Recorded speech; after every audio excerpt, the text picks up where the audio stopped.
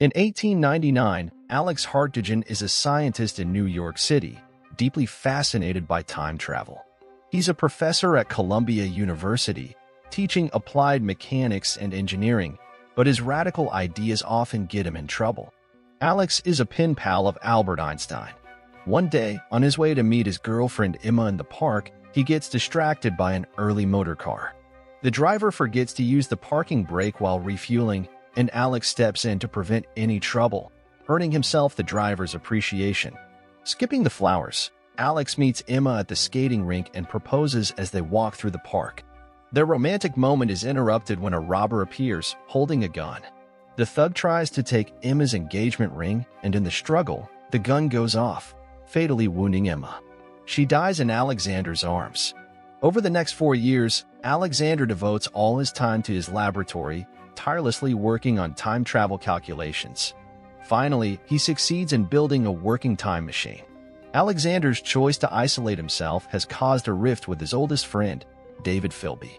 When Philby comes to the lab to confront Alexander, it leads to a heated argument. In an effort to bring normalcy back to Alexander's life, Philby invites him to dinner, hoping it would make him leave the lab and return to a regular life. However, Alexander delays the dinner until the following week. After Philby leaves, Alexander comments that in a week, they wouldn't have had this conversation. With the time machine complete, Alexander goes back to the night four years ago to intercept Emma before she would meet his 1899 self. Leading her away from the park, they walk to her apartment. He leaves her on the street briefly to buy flowers. Unfortunately, even though Alexander saved her from the robber, Emma is still injured. She is knocked down and trampled by a horse-drawn carriage outside her apartment. The horses got scared by an early motor car. Alexander sadly understands that if he stops one way, Emma could die. Another danger might replace it. Feeling disheartened by this realization, he chooses to travel forward in time, hoping to discover if there are any solutions or answers in the future. Using the time machine, Alexander travels to the year 2030 and discovers that efforts are underway to colonize the moon. He heads to the New York Public Library, where he converses with Vox 114, a holographic, artificially intelligent librarian. Despite finding details on various authors like H. G. Wells, Isaac Asimov, Harlan Ellison, and even one of his own papers, Alexander is disappointed to learn that the library lacks information on time travel theory. Vox asserts that such a thing is deemed impossible. Feeling frustrated, Alexander inquires about the time machine but only receives details about H.G. Wells' novel. Dissatisfied, he continues his journey into the future.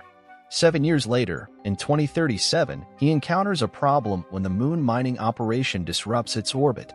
This causes the moon to break apart, sending massive rocks toward Earth.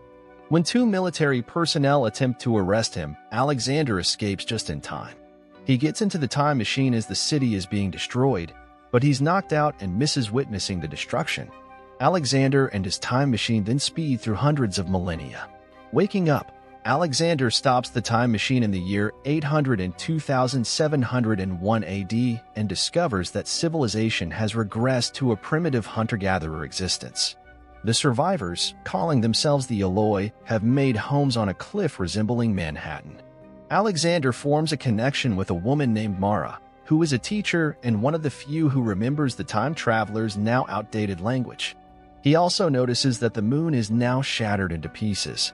As Alexander becomes a part of Eloi society, they show him a collection of stone fragments and signs from the old New York. This includes a sign from Tiffany & Co., a piece from the Empire State Building, and tiled panels from the Brooklyn Bridge City Hall subway station. While inspecting the time machine after seeing an Eloi memorial, Mara urges Alex to go back to his own time and take her younger brother Kalen with him.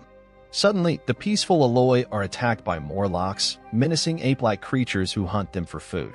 The Morlocks capture Mara and take her away. To find her, Alexander is told that the ghost might have the information.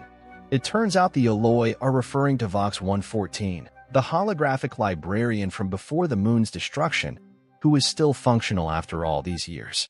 With Vox 114's assistance, Alexander discovers a way into the Morlock's underground world. However, he is captured and taken to an underground chamber where Mara is held in a cage. The Morlocks' leader, the Uber Morlock, is waiting. The Uber Morlock reveals their caste-like society, where each caste serves a different role. The ruling caste consists of super-intelligent telepaths, while the hunters Alex encountered were bred to be predators. The Uber Morlock tries to justify their actions, stating that they are not evil, and questions Alexander, asking, Who are you to question 800,000 years of evolution? He also hints at the existence of other clans similar to his own.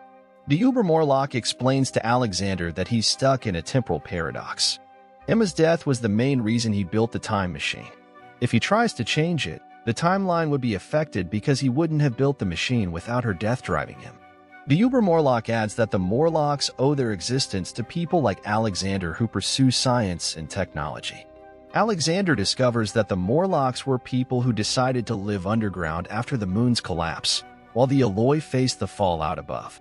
The Morlocks found his time machine and took it underground. To escape, Alexander jumps into the machine, sending it hurtling forward in time with the Uber Morlock. They fight until Alexander pushes the Uber Morlock outside the time sphere. He witnesses the Uber Morlock aging and dying beyond the time bubble.